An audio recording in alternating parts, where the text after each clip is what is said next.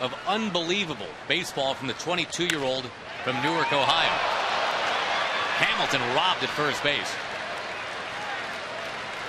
The last two times up, Josh has hit the ball hard. He hit the line shot right straight at third.